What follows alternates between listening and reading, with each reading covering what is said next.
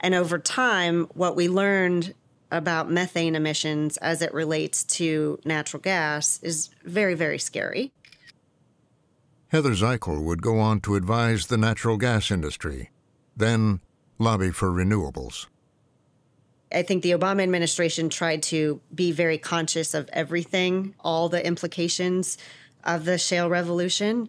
Um, but at the time, I, I think early Obama administration years, we didn't have access to the kinds of information that we would have liked to and needed to have had to take the proper regulatory steps to ensure as safe and climate friendly production as possible.